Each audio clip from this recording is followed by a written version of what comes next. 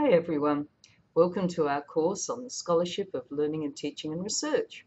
My name is Denise Wood and I'm Professor of Learning Equity, Access and Participation at Central Queensland University.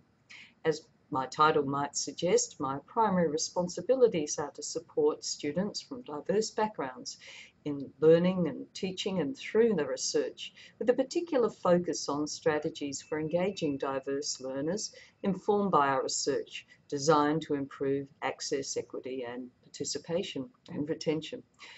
I'm actually a relatively newcomer to academia, even though I really completed my PhD in education shortly after my undergraduate and subsequent graduate studies. Um, and that's because initially I worked as a director of research at an organisation for children and youth with disabilities, and later as an executive director of an education and employment training provider for adults with disabilities.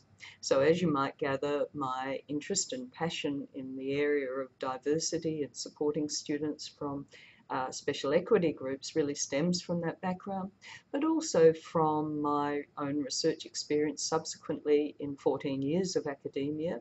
I've led a large number of uh, Commonwealth funded uh, learning and teaching and equity related grants uh, projects ranging from category 1 through to category 4.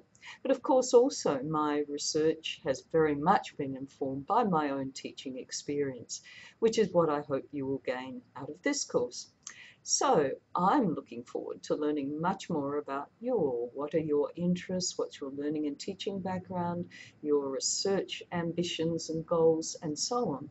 So now could you please share a little bit more about yourself by navigating to our introductions forum and posting your introduction.